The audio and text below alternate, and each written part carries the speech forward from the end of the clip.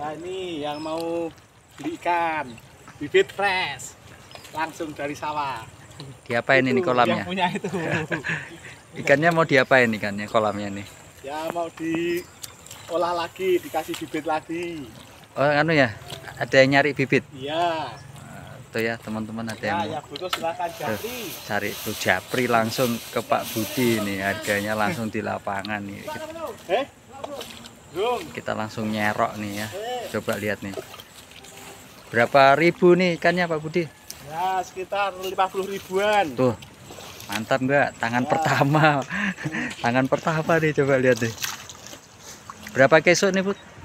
Cuman seperempat kesuk. Oh seperempat keso Iya. empat keso aja udah muatannya udah banyak nih teman-teman ya Ya, alhamdulillah. Ah, ayo diburu ikan nila nih bibitnya langsung di kolam ya langsung di kolam nih seger tangan pertama tidak lewat pedagang ya. Buat yang nyari bibit nanti siap kirim-kirim. Coba kita lihat nih. Wah, luar biasa ya. 30.000 sampai 50.000 katanya. Ikan luas sekali ya. Nih.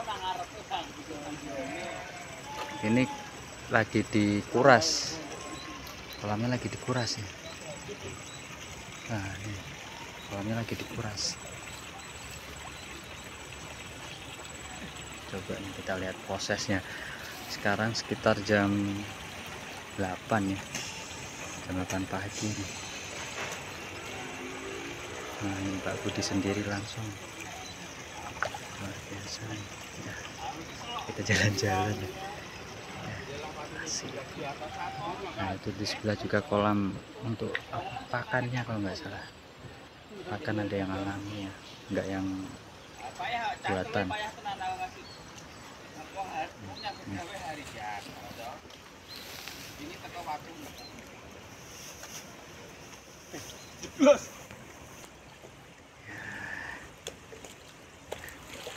Kuras kolam ikan nila.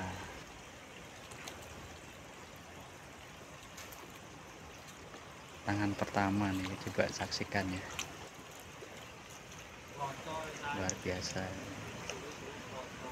Teman kecil waktu di zaman di desa saya ya. Oke, ini kita saksikan ya. Buat yang ingin budidaya, buat yang ingin jual beli dagang ikan jangan diragukan lagi nih Pak Budi sedia lele sama nila terus ada koi ya lengkap koleksinya ya. Itu aja ya teman-teman ya. Assalamualaikum. Oke.